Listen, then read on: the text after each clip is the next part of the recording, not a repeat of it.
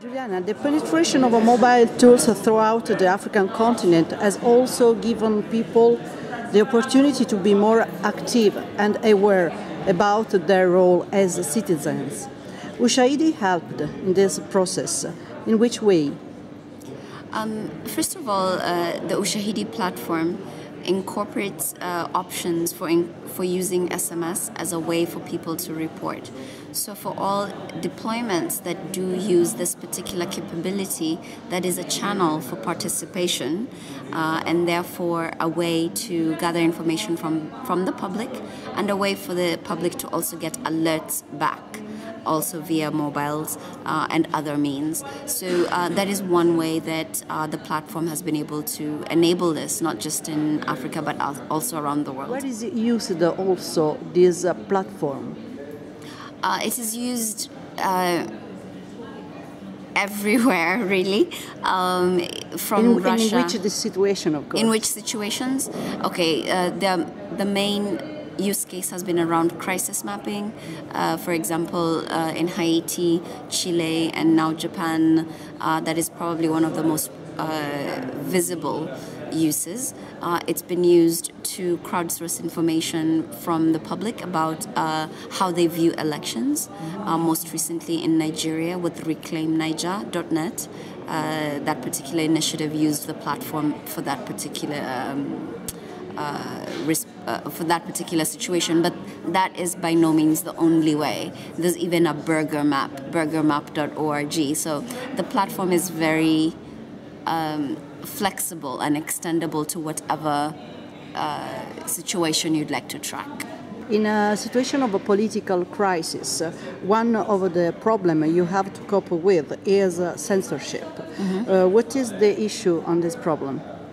Uh, I think what we saw with uh, in several countries is when the mobile operator uh, is forced to send messages on behalf of a certain government, like we saw in Egypt, or when they shut off communications altogether.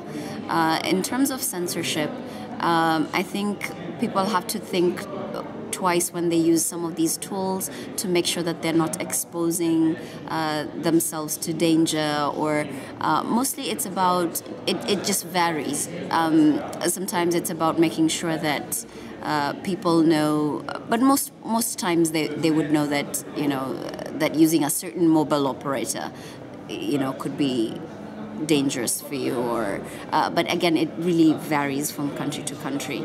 There's a very good organization called herdict web uh, herdict.org um, out of berkman center that tracks issues of censorship uh, and repression um, of online speech. So I think that that's a really good resource to, to look into. Another uh, big job uh, you are doing is uh, about a crowding map uh, for uh, gathering data. So CrowdMap is uh, the Ushahidi platform in the cloud. It lowers the barrier for using the Ushahidi platform. Um, so the Ushahidi platform is very fully, fully fledged, so you can customize it, you can change the look and feel of it, but it, it requires some technical know-how in order to set up. With CrowdMap, you can quickly um, set up a, a um, a trial run of sorts, or like the co- Crisis Commons did, uh, did, in Italy.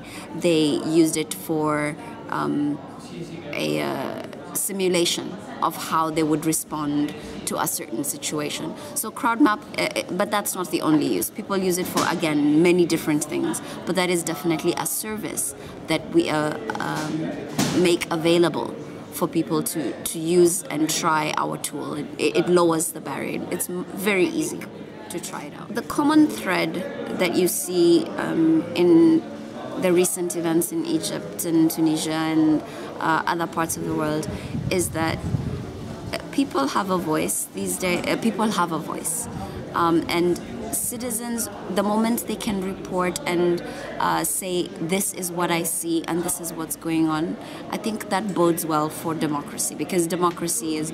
Uh, you know, at the basis of it is government for the people, by the people. But are the people speaking out? Are you hearing the voice of the people in whichever way they're speaking to you? So I think um, our with our tools, our mission is to change how information flows, and most we're mostly very focused on allowing bottom up information.